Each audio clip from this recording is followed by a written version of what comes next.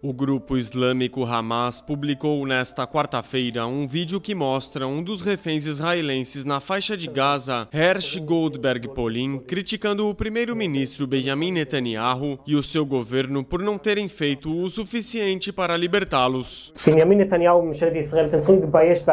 Benjamin Netanyahu e o seu governo deveriam se envergonhar, afirma o jovem que perdeu uma das mãos durante os ataques do Hamas em 7 de outubro. No vídeo, Goldberg Polin pode ser visto sentado em uma cadeira, lendo uma mensagem direcionada principalmente a Netanyahu, embora também tenha dirigido algumas palavras à sua família por ocasião da Pessah, a Páscoa judaica. Goldberg Polin é um dos aproximadamente 129 reféns israelenses que ainda estão em Gaza, embora muitos deles, cerca de 70 segundo Hamas, possam ter morrido. O governo israelense está mantendo negociações indiretas com o Hamas através de países mediadores como o Catar e o Egito para tentar chegar a um acordo de trégua que permita a troca de alguns dos reféns por prisioneiros palestinos nas prisões israelenses, mas as conversas não renderam frutos até o momento.